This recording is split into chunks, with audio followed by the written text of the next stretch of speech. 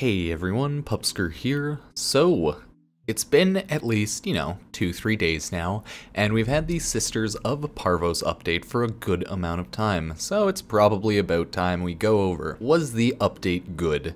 Well, it has a lot of weak points, and it has a lot of strong points, so we'll pretty much just go over some of the more noticeable and or important parts about the update. First and foremost, all of the quality of life changes generally, you know, you can't really be mad at that because they're just straight up quality of life changes, so those are always good. Things like liches being uh, killed faster, getting more murmurs, so just generally speeding up the game, speeding up like seemingly annoying grinds, things like that. So just quality of life updates, those are just good, okay? So those are always good, can't be too mad. But other than the obvious quality of life changes, let's talk about just the generals. So first thing, I want to talk about the Wave Rider quest and Yareli. The Wave Rider quest is, all in all, like, the story itself was cool, the comic was nice, it looked pretty dope, like, I can't be mad at that. It's just the quest itself was a bore. If you know what you're doing with K-Drive, if you know how to handle the K-Drive, the quest was by no means difficult whatsoever, like at all. I finished it in an hour and I barely know what I do with K-Drive. I just like mess around, not even max rank with Ventkids because I just finally started that because of this uh, new update when it was a waste of time. So yeah, fun times there. So the Wave Rider quest, all in all, if you hate K-Drive, you hate the quest. If you like K-Drive, you'll probably like the quest. So that's just straight up not fun for most people. It is what it is. I don't really like the quest either, but hey, whatever. And then there's Yareli herself, possibly one of the dumbest things I've seen Warframe make for a while. She's seemingly just a Genshin Impact clone type kawaii character, fan service, Rule 34 type character. So far, her abilities aren't good, straight up dog. They've doubled the numbers pretty much, and they're going to continue tweaking and making her better until she is a good playable character. For some reason, she has a K drive that's not moddable because I guess Warframe forgot that K drives could be moddable, so they just straight up didn't give a shit about that. That is actually very sad, in my opinion, because why in God's name would you make a Warframe with an exalted K drive that you can't mod? It's not like the K drive mods are even OP or anything, they just add some damage or add movability, uh, maneuverability, jumping, combo, things like that. Like, why in God's name do they have an exalted, non-exalted K drive? So, I don't know. Merulina is an honestly stupid ability and they should feel bad that they thought it was a good idea, especially since they can't mod it. I'm very hostile towards this, okay? They gave me a K-Drive that I can't mod. What's the point of K-Drive, guys? What the fuck is the- why is it in the game? Okay, why are you pushing K-Drive so hard when you're not even making use of the important and like somewhat fun parts about K-Drive? I'm actually so salty about the fact that her K-Drive is not moddable, because the only point of K-Drive is the fact that it has no point and it still doesn't have a point. What the fuck are you doing, Digital Extreme? Seriously. You can make a quest at a K-Drive, you can do anything you want, but is K-Drive ever good? No. Is the controls good? No. It's still buggy, it's still dog shit, still worthless in the grand scheme of the game.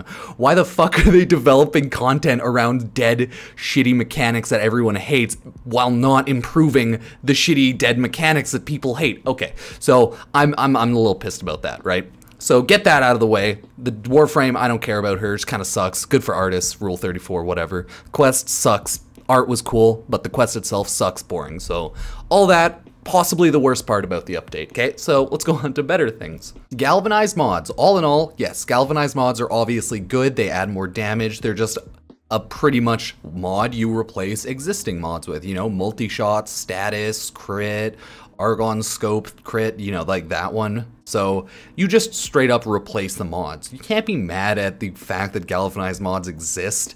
They're a slight nerf from the uh, like original because I think the multi-shot goes base 120 to 80, but then they have the on-kill effect, which makes up for that. And a pretty reasonable timer, I would say, for the uh, kill count on hit effect to reset, like 20 seconds, 12 seconds, depending. So all in all, galvanized mods, I, I'm good with that, okay? I like the fact that you have to run arbitrations. Like, arbitrations aren't bad, in my opinion. I think they're just straight up a decent farm all in all. The only annoying part is that you don't get to choose what type of mission you have, but that's part of the gimmick, so that's not really much of an issue. It's not like it really matters. If there's a mission type you hate, you can either wait an hour or just do it begrudgingly anyways, so it's up to you.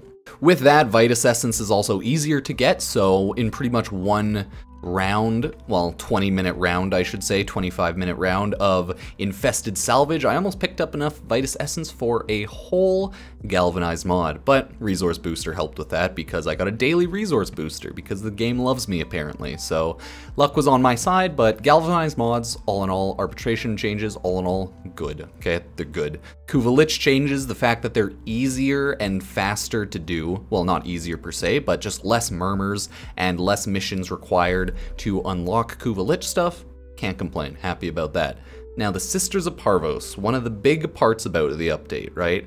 I would say Sisters of Parvos is good. Might need a little bit of tweaking, but all in all good. They are seemingly like way tankier than Kuva Liches, so if you want to properly kill them, you will have to mod, I think, against shield and armor.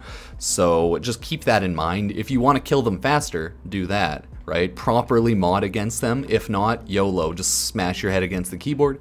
You'll kill them eventually. Melee is now definitely noticeably weaker and slower, so I'm probably gonna end up changing around a bunch of my builds, ditching Condition Overload for the sacrificial mods more often, because I just don't really care about Condition Overload in the first place. Now that it's nerfed, it just gives me an excuse to not use it and make people mad or something, so maybe I'll just do different combo builds like that, heavy attack builds, but I'm not really a huge builder myself. I'll leave that to the pros. I just like to mess around, okay? I like to keep that fairly obvious.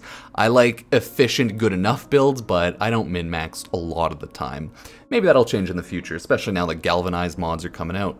So all that, I like the Sisters of Parvos. They're a little weird, but all in all, it's good. I think it's actually fine, and I kind of enjoy the fact that the last stage of Kuva Liches and the last stage of Sisters of Parvos are on a Railjack tile set mission. The tile set missions for the end of the Kuva Liches and Sisters of Parvos, I've killed both of them by now. They're just a pretty fast Railjack mission, and I do like it, right? It for it gets you more into Railjack, but not the worst part of Railjack. But it does suck for people who haven't and do not like Railjack, so I get that. But luckily it's not a huge railjack railjack mission. You could probably pull it off with weak railjacks, but it's probably still a pain for a decent amount of people, so rip. All in all, I like it. It's interesting, gives you a reason to go into Railjack and check out the tile set, so we'll see if more people end up playing and liking Railjack. In my opinion, it's in a decent state now, so yeah.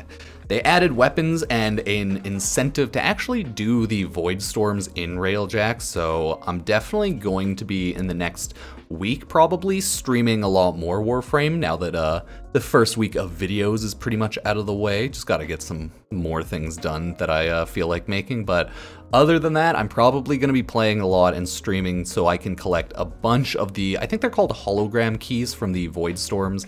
Gonna get a bunch of those Tenet briefcase melee weapons. I think there's, yeah, four in total. Gonna get a bunch of these Sisters of Parvos weapons. I've already stolen their dogs, the first hounds out of the way, so, you know, can't be mad at that. No ephemeras yet, didn't get lucky there, but, you know, it is what it is, so... All in all, guys, I like the update. Steel Path pretty cool. It's nice that you can run that for arcanes. That'll make your primaries even stronger.